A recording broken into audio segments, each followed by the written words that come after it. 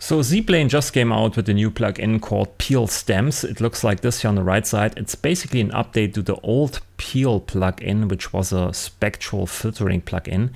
And they added four new knobs here called drums, bass, vocals, and other. And um, which means you can separate stems in real time or turn down the volume in real time. And when I first heard this, I couldn't believe it. So I had to try this out. And I want to give you here some examples in this video. Um, I think the Crossgrade only costs 20 bucks, and if you're a new customer, it costs around 40 bucks, so it's not very expensive. So inside of Bitwig here, I have this already loaded up on the master, okay? So I give you here an example for this track, I let this play.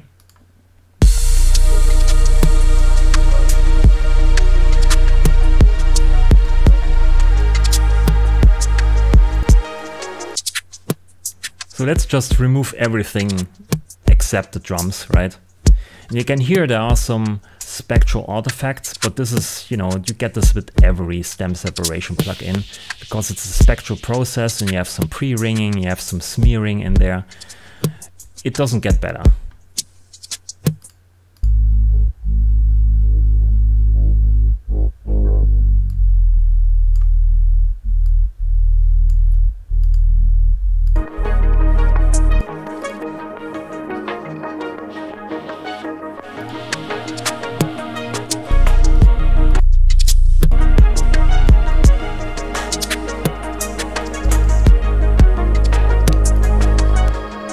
In my opinion, this is pretty impressive in real time. I mean, it's not really real time. You have a latency here of, let me see, um, can we see this actually here?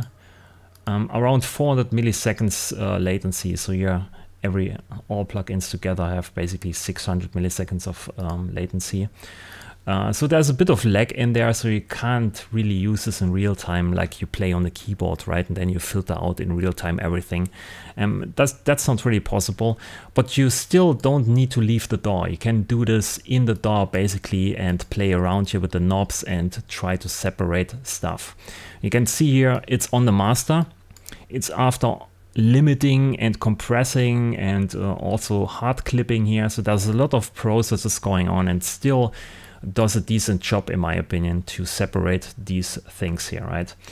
We can also go here into another project. It's also a track of mine. It's also heavily compressed and limited, but there are some vocals in there. So let's try this out here on this one.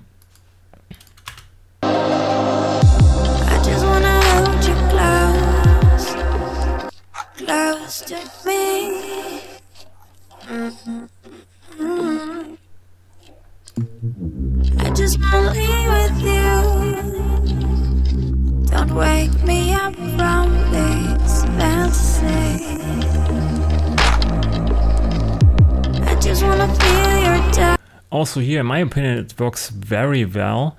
Um, if you keep in mind this is in real time and also uh, this track or this master is heavily compressed and clipped and also there's a lot of reverb on the vocals in there. I worked a lot with uh, sidechain compression, compression and so on. So it's a very heavy task for such a tool to do this in real time, but still it works very well in my opinion.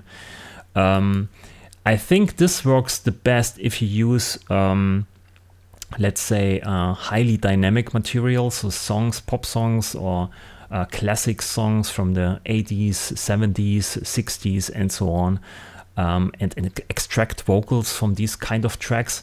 I mean, I could show you this in this video, but then the video probably get flagged for a copyright, so I can't really show you this. I can only show you this here on my own tracks. Okay, here's another example. I'm using here a song by Gatwick called Carousel. Sounds like this.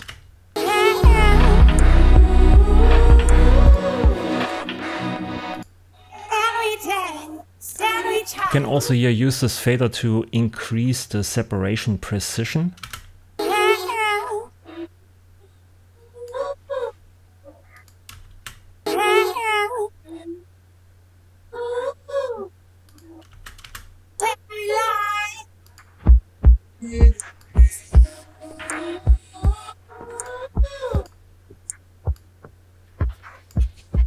So I guess lower values are basically more forgiving and um, yeah, this is highly precise, so it tries to really curve out everything.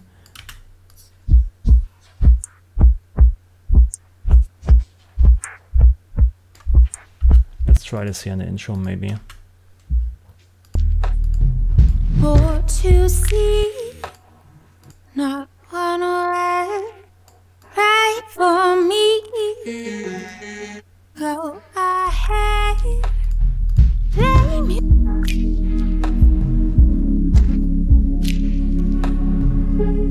can still hear the reverb from the vocals, but this is expected, I guess. But if you have this master basically here, or your this MP3 in your collection, and you think, oh well, the vocals are way too quiet, right? So you put this on and just turn up here the volume just by 6 dB, or turn everything down and then you get more more of the vocals.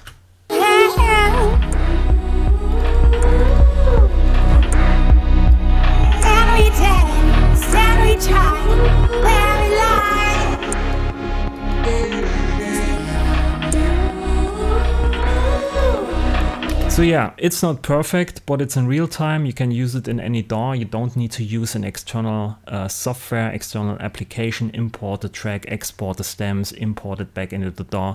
You can basically play, play around with this here inside of your current DAW and then uh, bounce it to another track or just, you know, remix it here or change the volume of certain stems. So it's probably a neat tool. I have to play around with this here a bit more to get some experience with it. Uh, but I want to let you know that this plugin just came out. Maybe there's a demo or trial version on the website. I have no idea. I put you the link in the description below. I'm not affiliated, uh, by the way. I just saw this in my uh, inbox. And yeah, I thought I'd give it a try. So thanks for watching. Leave a like if you liked the video. Uh, subscribe to the channel. Leave me feedback, of course, in the comments down below. Thanks for watching and I'll see you in the next video. Bye.